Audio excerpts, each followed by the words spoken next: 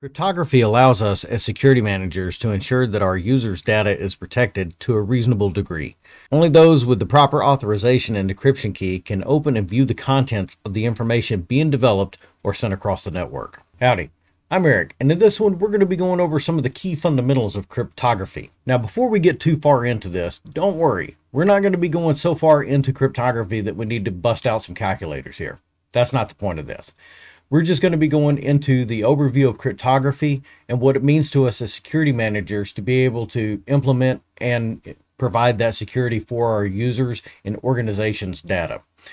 We need to be able to make reasonable decisions as to what kind of encryption or cryptography we need to implement in different situations or scenarios to ensure that that reasonable expectation of confidentiality is met. Now, when I talk about confidentiality, we're obviously referring back to the CIA triad, where we have three pillars of overall security that is supposed to be uh, available to all the users. And if we take a look at the overall triad itself, it's made up of three major components integrity, confidentiality, and availability. Now, for integrity, we're just ensuring that the data is correct. And we covered a lot of how this is done in the previous domain. For example, hashing. Hashing allows us as security managers to be able to verify that a file or the contents of that file are the same as when they were first generated to when it was being viewed by somebody else. That file signature, if it's changed in any way, shape, or form, will tell us if any changes have been made to the overall file itself. And we know that the integrity has been compromised if that file signature is changed. Now, just as a quick example of integrity and how us as security managers can make sure that nothing has been tampered with from start to finish. If we go on uh, download sites today, kind of like uh, GitHub, for example, you'll see that a lot of the files on there have hash signatures, whether they be an MD5 or SHA, uh, SHA-1, SHA-256, whichever SHA that they use. And so that's the signature of that file as it sits on that site. And after you download it, if you check the hash and that signature is still the same as what's listed on the site, then you know as security managers that that file has not been tampered with in any way, shape, or form during its transit. And so we can say that for sure nothing about that file has changed. And we use that on our enterprise networks as well too, especially when we use data servers to ensure that proprietary information stays true within our organization.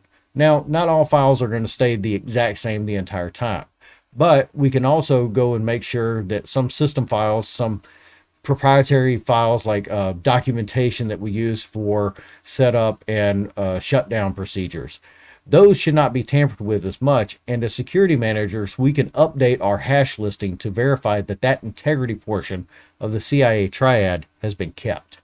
Confidentiality is what we're going to primarily be covering in this domain. And confidentiality is, in its simplest form, cryptology. And that's ensuring that the information that we have within those files are private or private to those outside the organization. There are going to be those of us within the organization that need to have a proper need to know for that information that's being contained. And the way that we ensure that that confidentiality is maintained is by using cryptology or encryption. And the previous two pillars lead directly into the third one, which by the end of this course will have full availability of all information and resources within the organization. And it's our responsibility as security managers to ensure that the confidentiality and the integrity is kept to make sure that availability is true. So that way we don't have to worry about users second guessing the information that they're getting or sending to other people within the organization. Throughout this skill, we're going to be covering some of the different basic aspects of what goes into cryptology and the encryption that is used to make sure that those files are kept confidential. We're going to be talking about synchronous and asynchronous encryption keys, uh, some of the comparisons, how they process, uh, what it takes to be able to process that kind of information because there are some encryption methods that are real easy to process. And by that, I mean it's easier on the system that is generating that key. Uh, we're going to be going into how some of these are actually applied in real time. So, as security managers, we'll be able to look at a system like an Exchange uh, server uh, for email. That primarily uses PKI in most enterprise level organizations. And there's encryption that goes behind that PKI along with integrity and file hashing. Now, the file hashing we've talked about before for that, and that's the file signature. Uh, you might know that as the actual signature file that you use with your CAC.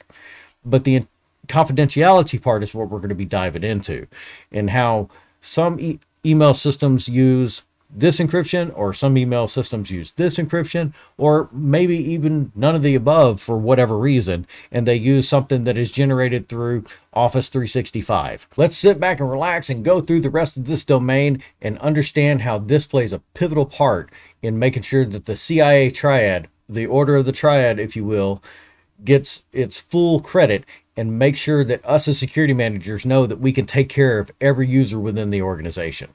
I hope this has been informative for you, and I'd like to thank you for viewing.